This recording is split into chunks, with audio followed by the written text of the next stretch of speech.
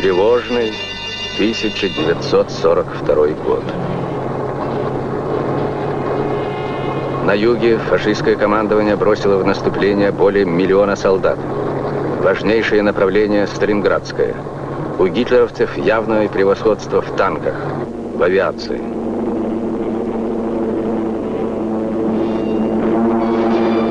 Опаленные боями, израненные, советские воины стойко обороняли каждую пять родной земли.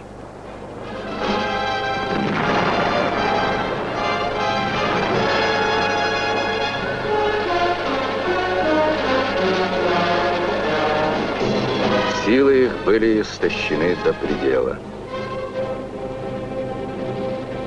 Грозная опасность нависла над Сталинградом. Ни шагу назад. Отстоять город призывала коммунистическая партия. И каждый сталинградец был полон решимости выстоять до конца.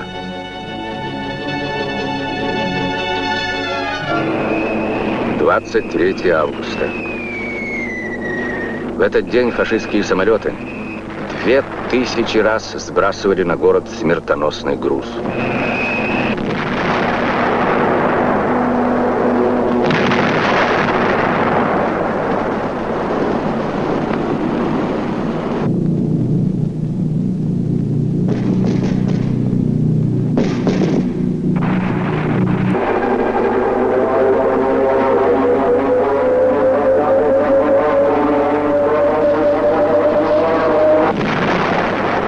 Севернее полуразрушенного, пылающего Сталинграда немцы прорвались к Волге. Но взять город штурмом фашистам не удалось. Начиная с сентября на улицах Сталинграда шли упорные многодневные бои.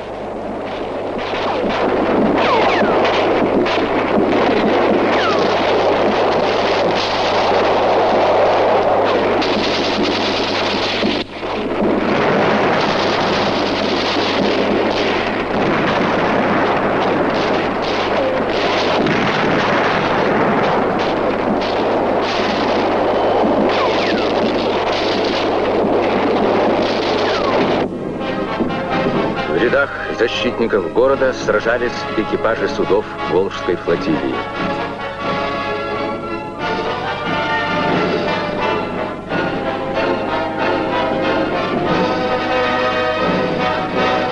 Всю тяжесть обороны взяла на себя 62-я армия, которой командовал генерал Чуйков.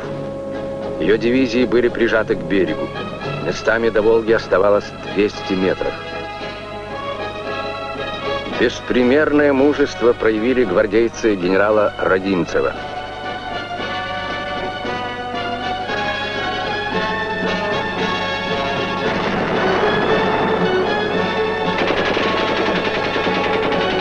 Каждый клочок сталинградской земли полит солдатской кровью. Умереть, но не сдать Сталинград. Таков был девиз защитников города. Там, где было труднее всего, впереди коммунисты. Днем и ночью, долгие два месяца, бойцы сержанта-коммуниста Павлова отбивали атаки фашистов и выстояли. Дом, который они защищали, остался неприступной крепостью.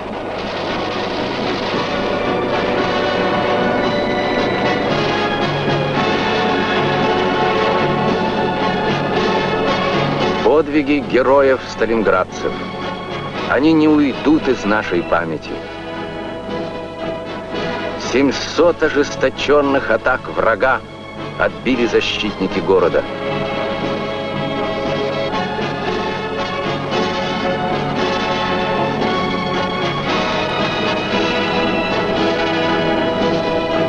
Оборона Сталинграда готовила будущее наступление. За дымом битвы вставало солнце нашей победы.